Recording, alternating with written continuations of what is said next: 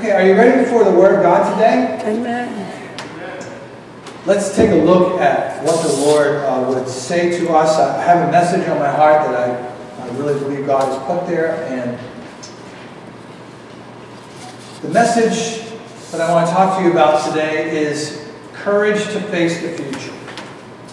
And I'd like to ask if we would pause right now and just ask the Lord to open up our hearts. Dear Lord, we see in your word that you opened up hearts of people so that they could respond to the message. And so, Lord, we believe that you're the one who has not only given us your word in the past, but you also anoint your word in the present so that we might be able to receive that fresh word from you. And so we're praying, Lord, for uh, any kind of scales to come off our eyes, any kind of distractions to be cast down, anything that would be bothering us, that would hinder us from hearing. We come against that in Jesus' name. We ask that you would help us, Lord, to uh, hear your word, to receive and apply your word. Thank you, dear God. Give us ears to hear and lips to speak. We pray in Jesus' name. Can you say amen? Amen. What if you went to the doctor this week and the doctor looked you straight in the eye and said, You have one week to live? What would that do? How would you feel? You have one week to live. Seven days left on this planet. Now, I'm glad that God doesn't reveal to us. Very few have a premonition that's right and accurate. But I'm glad God doesn't say to us, well, you're going to die on such and such a day or such and such a year, and this is what you're going to die from. Aren't you glad He doesn't do that? You know, we would worry about that, wouldn't we? We would be just so consumed. But you know the Lord Jesus not only knew when he would die, but he knew exactly how he would die. And so here he is, one week away from his death. And this death of Jesus is like no other death. I mean, other people in history have been crucified on a cross. That's bad enough. But Jesus is not only going to be crucified, but Jesus is going to bear upon himself all of our sins. All of the ugly things we've ever done in our life is going to be on Jesus, on the cross. And for a while, he's going to feel that separation because he has become sin for us. The one who knew no sin. So this death is like no other death. What Jesus is going to need is courage. You know what we're going to need in life? Is courage. Let's take a look at the message today, which is about looking ahead, facing tomorrow with courage. This day represents the day that Jesus Christ rode into Jerusalem to fulfill the prophecies of the Old Testament and to announce to Jerusalem their Messiah had come. So let's take a look. Rather than reading this portion of Scripture, I'd like to just kind of show it to you on a little bit. From John chapter 12, verses 12 to 15.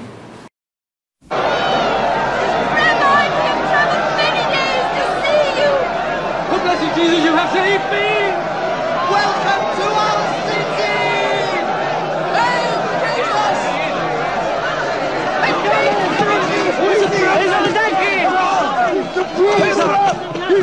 Jesus! He raised Lazarus from the dead! Who is this Jesus of Nazareth? He's a prophet, a great prophet. A prophet? On a donkey? the sink.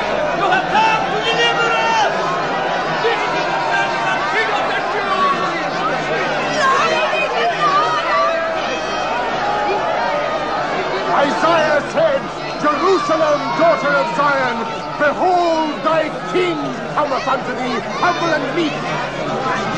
Honor to the Lord, son of David. Master, you are the hope of Israel. You are prophet and our savior!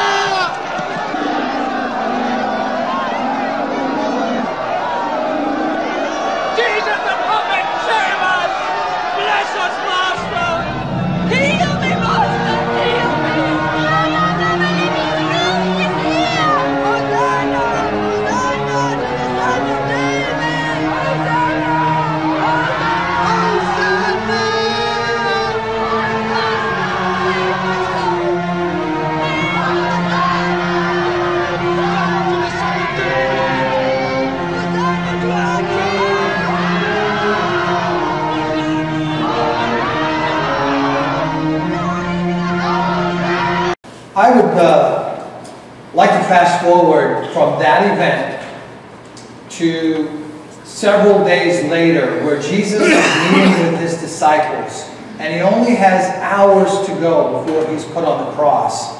So we're going to read John, uh, John chapter 16 and verses 31 through uh, 17 and verse 5. Okay. So, I think what we need to do um, is, yes, there we go. All right. So, we're going to read this uh, together. You don't have to necessarily read this, but I will read this for you. So, Jesus is with his disciples, and he says to them, You believe at last, Jesus answered, but a time is coming, and has come, when you will be scattered, each to his own home. You will leave me all alone. Yet I am not alone, for my Father is with me. I have told you these things so that in me you may have peace. In this world you will have trouble, but take heart. I have overcome the world. And then, chapter 17, verse 1. Jesus said this. After he said this, he looked toward heaven and prayed, Father, the hour has come. Glorify your Son that your Son may glorify you. For you granted him authority over all people, that he might give eternal life to all those you have given him. Now this is eternal life, that they may know you, the only true God, and Jesus Christ, whom you have sent. I have brought you glory on earth by finishing the work you gave me to do. And now, Father, Glorify me in your presence with the glory I had with you before the world began. Can you say amen to the reading of God's Word? Amen. So when it comes to the future, tomorrow, it's easy for us to think the worst. Sometimes we can dread the future. We can be filled with fear, anxiety, so, it that Jesus could face the future knowing when he would die, knowing how he would die, but yet face that with courage? How can he do that? Well, you say, well, because he's God. Well, that's true. But he also is fully man. And so, as fully man, he needs to receive strength and courage. Now, I want to just share with you something that's vitally important about courage. Courage is the fruit of something deeper. In order for us to experience courage, we have to have that which is beneath the surface, which is called confidence. Because courage springs from confidence. If there is misplaced confidence or no confidence, then there is false courage or no courage. So, my question to you today, and I've been asking myself this throughout the week, is what does Jesus teach us about courage? What does he have to say about the inner life of confidence from which courage grows? That's the question. What Jesus teaches us through his life, and through this last week especially of his life, is do not misplace your confidence. Now, when Jesus was on the donkey and was going into Jerusalem, many people were extremely happy that he was there. They were very emotional. And I'm sure that Jesus appreciated the hearts of the people in a sense that they were trying to reach out to him, trying to acknowledge him. But I want to tell you something that Jesus never places his confidence in the emotions of other people. You know that, don't you? I mean, he could have said to his disciples, he could have said, Wow, look at this. Isn't this great? This is like oh, what I've been waiting for. Now we have a name. He could have said that. But Jesus knows that for most people in Jerusalem, it is merely an emotional experience. He knows that.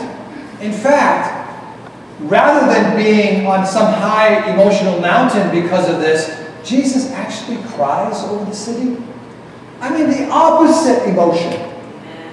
While the people are cheering and all this, Jesus is weeping because he knows that Jerusalem is missing its opportunity. Most of them don't get it.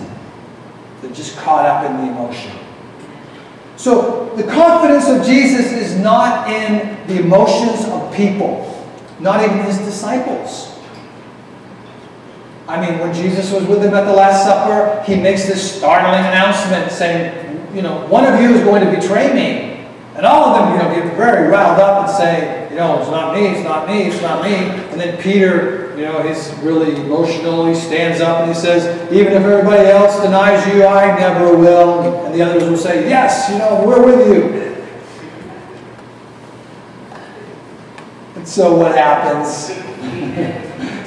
So Jesus loves his disciples, but he's not putting his confidence in the emotions of his disciples.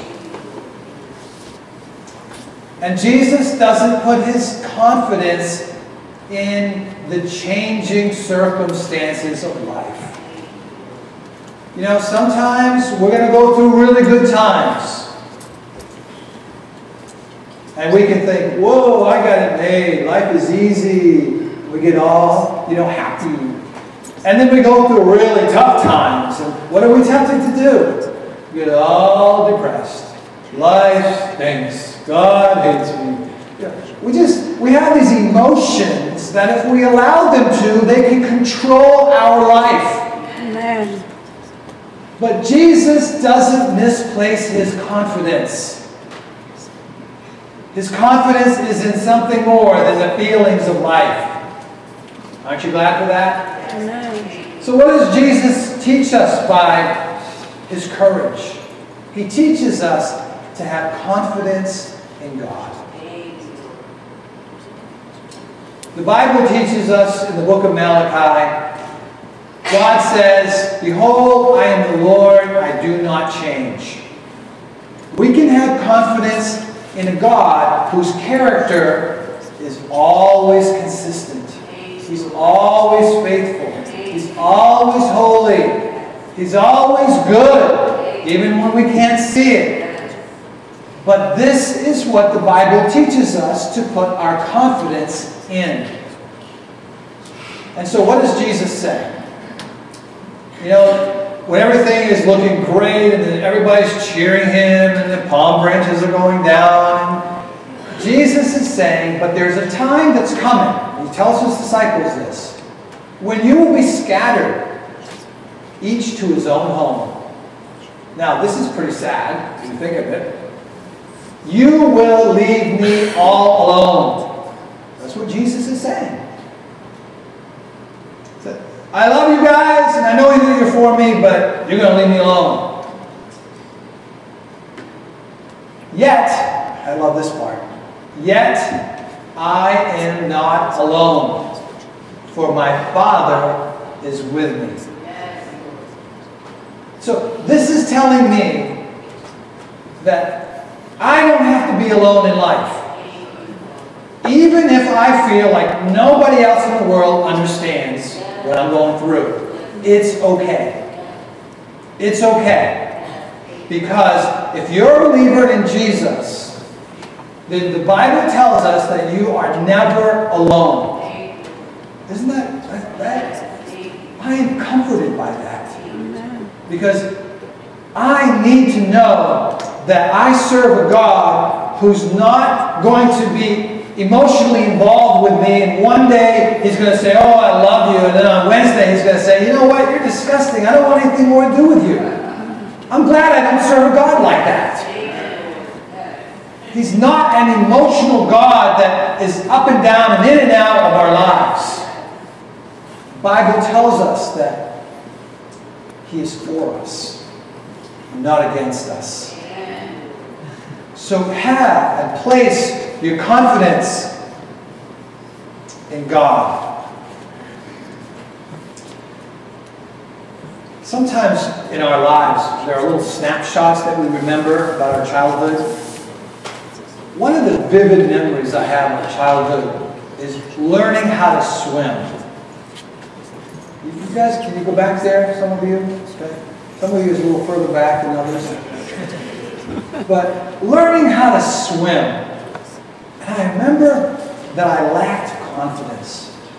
And so I would be up to my waist in water, and I would go ahead and down into the water, and I would dog paddle and try to keep my head above the water.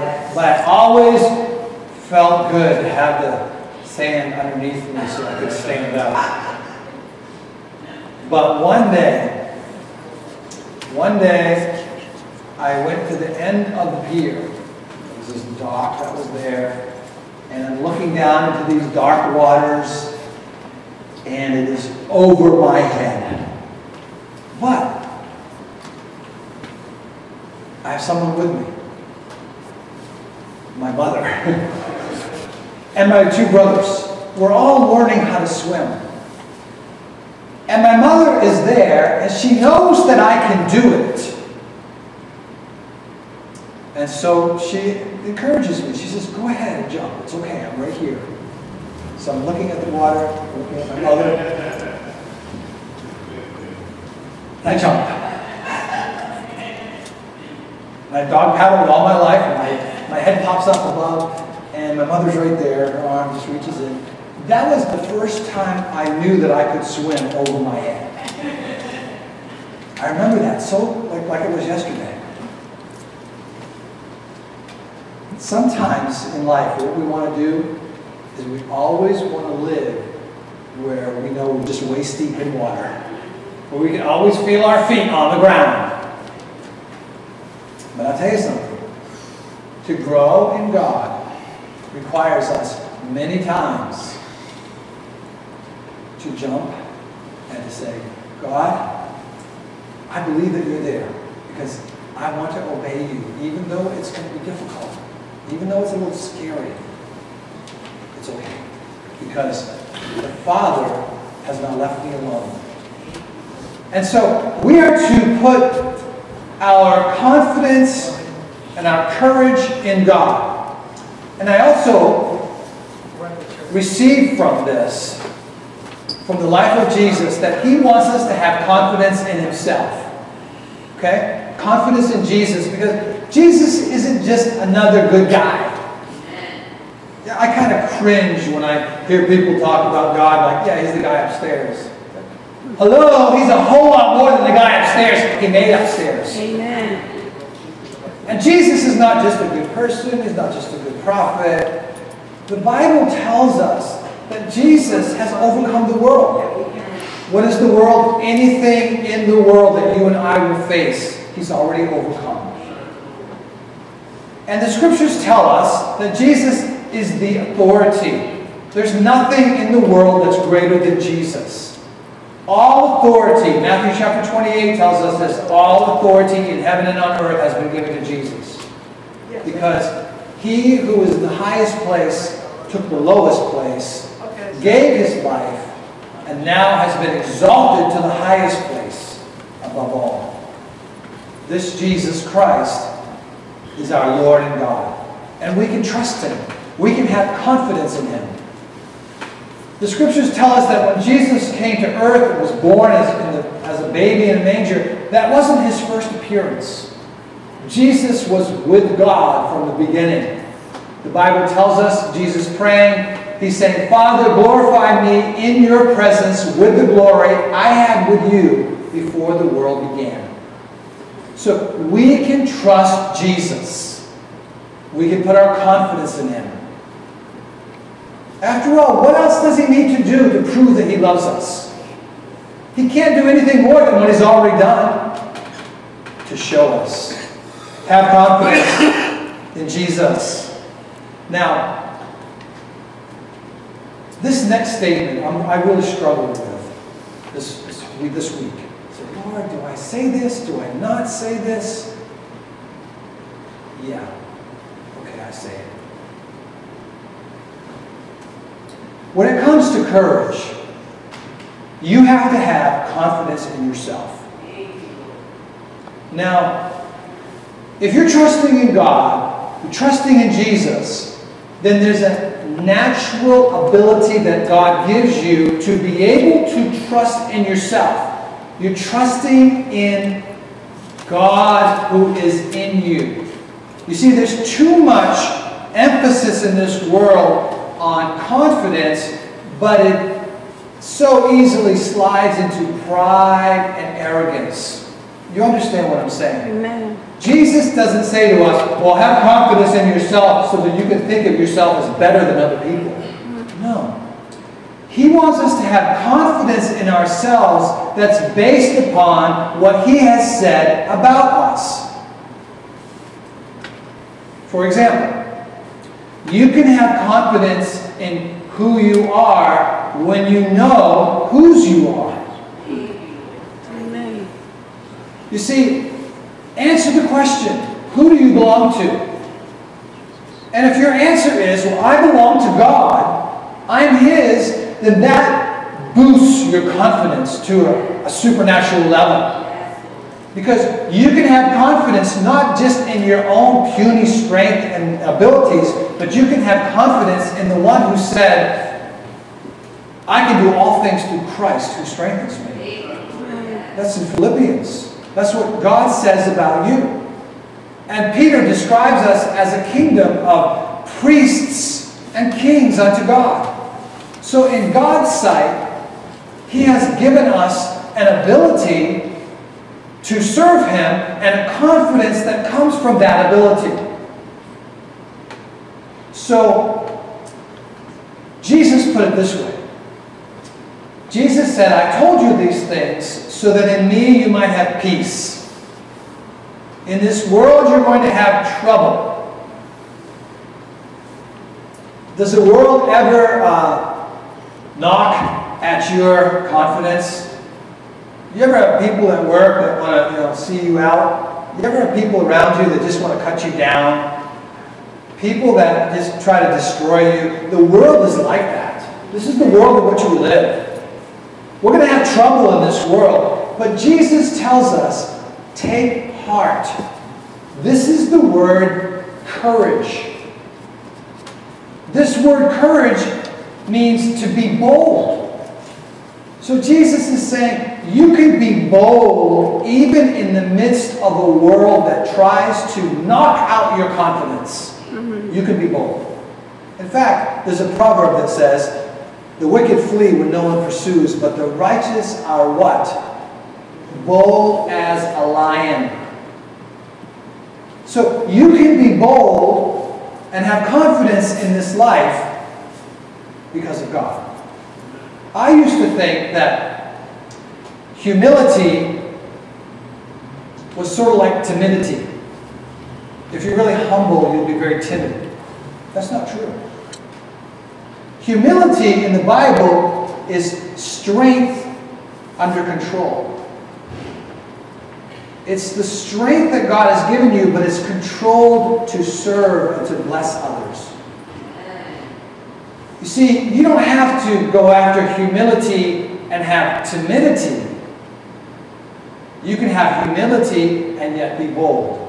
Because when you're doing the right thing, you don't have to fear anything. I remember a guy in college, a real good friend of mine. He thought that humility was timidity. And so when we were together, he would always say to me, Oh, I'm sorry. And even if I didn't, if I looked kind of different, say, Oh, God, did I say something wrong? I'm really sorry. No, you didn't say anything wrong. He was always saying, I'm sorry. And so I told him, I said, Man, you don't have to continue to say you're sorry. Said, and then what did he do? You know, I'm really sorry. oh. He's still my friend today, but it just drove me crazy because he thought that being humble meant always thinking that you're uh, a worm under a shoe.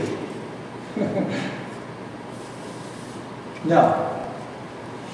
It's realizing that any gifts that you have and any strength that you have is from God and using it appropriately. So it's okay to have confidence in yourself.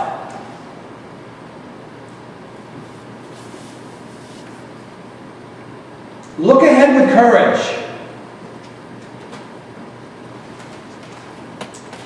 Have confidence in your work and your calling. Confidence in your work and your calling. How many of you know that you have something to do in this world? Okay, you, you know you have a calling. God hasn't given you life just to eat your way through life. I like to eat. I like to eat. But that's not, that's not our calling, it's just to, you know, eat or to sleep our way through life. I like to sleep, I need sleep. That's not the mission of God for your life, to just eat and sleep. Right? Okay. Not even watching movies. I like to watch a good movie once in a while, but that's, that's, there's something that God has called us to do. So if you're a parent, you've been called to disciple your children. Uh, if you have a job, you've been called to be a light and a witness at that job. And every single day of your life, you're called to love and serve other people. So, whatever that calling is, God wants you to have confidence that you can do that. So, don't tell yourself, well, I don't have any gifts. I don't have anything that God's called me to do and therefore I'm just going to sit in a corner and cry. No, God has given you something to use to bless others. He's called you. The Bible says, Jesus said this, He said, I have brought you glory on earth by completing the work that you gave me to do. So Jesus had a work to do, and he was able to complete it. You have a work to do, and if God gives you a work to do, you are able to complete that work. It's not as if you say, oh, I can't do this. No, God will give you the grace to be able to complete what He's called you to do. Amen. And He wants you to have confidence that He will use your life, that He will bless your life, that He will bring glory to Himself through you. So instead of just always looking at our own imperfections, we need to look at the strength of God. We need to look at the Lord and say, Lord, I believe that you've given me a work to do and that I can do this work through your strength.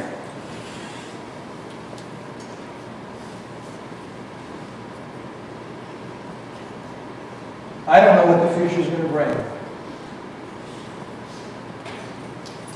This week might be the most uh, cataclysmic week that the world has ever known, that our nation has ever known. It might be. Or it might be a lot like last week. We don't know. I don't pretend to know who the next president will be. Neither will I make a lot of comments on that. I don't know Tomorrow may be a really good day for you, or it may be a really, really tough day for you. I don't know that. But God reveals in His Word things about our future. And so, what I do know about my future gives me courage to face what I don't know. Okay, are you with me? Amen. I do know that Jesus loves me. I do know that. And I do know that Jesus has a plan for my life as well as he has for your life. And I do know that if everything else in this crazy world crumbles, that Jesus still is Lord. Amen. And he said, Be of good cheer, because I have overcome the world. And I do know that if tomorrow is my last day on this planet, that there's a home in heaven forever and ever and ever that I will be with Jesus. And it's going to be okay. It's going to be okay. So, will you receive the courage of Jesus? Will you receive that today? Can you receive this message? Will you grow in your confidence? Not in you. Don't go around walking around saying, oh, you know, this is what the world does. Oh, I'm such a great person. You this is so wonderful. Like, what? That's foolish talk. You want to say, I serve a great God. Even though I've done things wrong and I, I'm a sinner, I have a great God. He's, he's able to keep that which I've committed unto him. He's, he's awesome. I'm going to walk in that boldness. How about you?